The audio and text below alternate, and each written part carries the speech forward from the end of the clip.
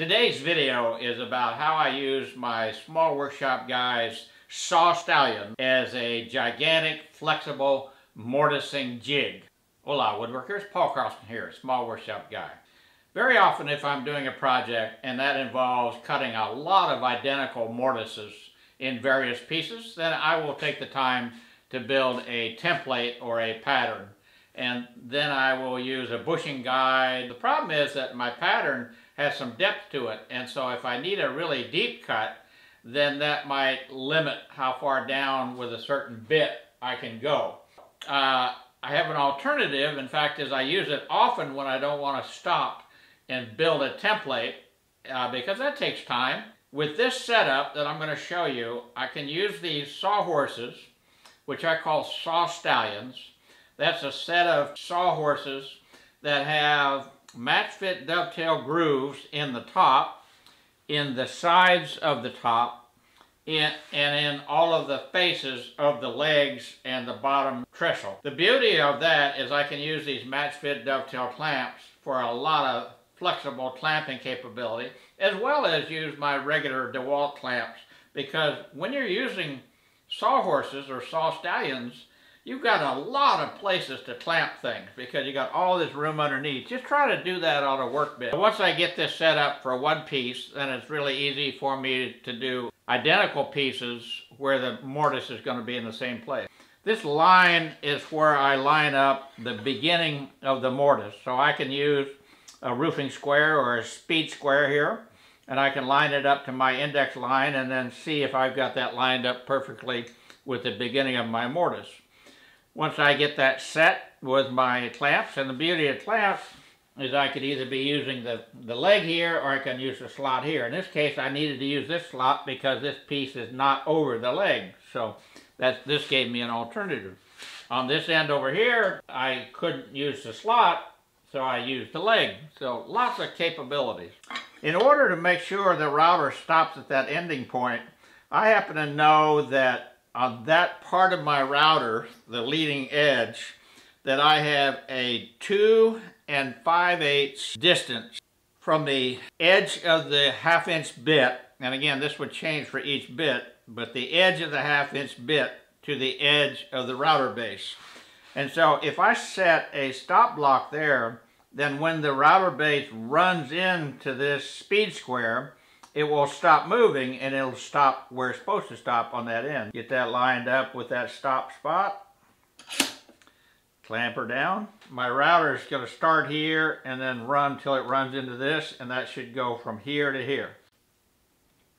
The beauty is once you do this once for one cut, since you're going to use the same reference face for all of your mortises, and your pieces hopefully are dimensioned to be exactly identical, then you won't have to make this adjustment again. Make sure you follow the manufacturer's instructions for how far you need your router bit to be in the collet.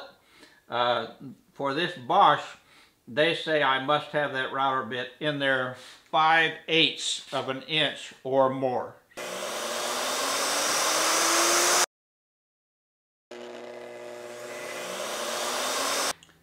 So after all of that setup, then there is my first mortise. Check that out, make sure everything's working well. I like that. You know, if anything, stay short because then you can square it off. You're going to square it off anyway with your chisel. So stay a little short of your intended line. Don't go a little long, otherwise you'll have a gap depending on how you do your tenon. But better to be short and then chisel it out to your line than to be long because you're not going to chisel it back if you follow me. All right, so I have that work piece and, and I do that mortise. Let's say I have an identical work piece, uh, then I would just take the work piece out, put in the identical work piece. Everything stays the same. I just line that mortise in the new workpiece up with this line here and then I cut it. And then I put in the other one, and I cut it, and I put in another one, and I cut it. And all of my setup here stays the same. Uh, you know, other than releasing these and releasing the workpiece and putting in a new one. Now, I want to keep my reference face for my edge guide the same. So I got the little uh, caret here, marking that.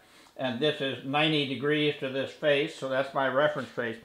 So what I'm trying to say is I don't want to take this out here and then rotate it around to where this is now up against there because then my edge guide would be on a different face. So I need to actually bring things down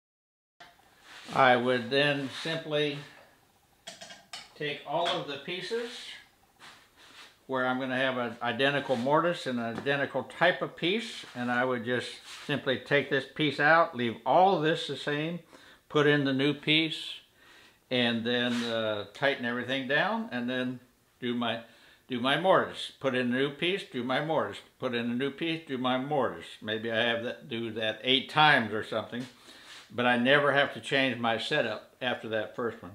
So no template, no bushing guides, no wide base uh, keeping me from getting a deep plunge.